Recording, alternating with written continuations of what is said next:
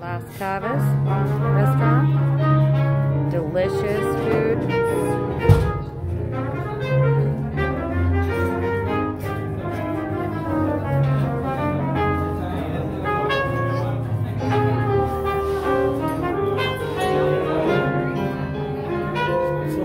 Oh no, you're fine. Gracias.